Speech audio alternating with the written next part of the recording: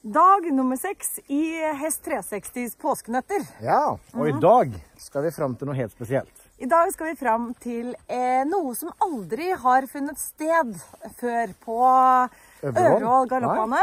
Den 25. august. Ja. Det er helt nytt, historisk begivenhet. Ja, vi faktisk. kan avsløre at eh, det er en finale i noe som jeg er veldig god i.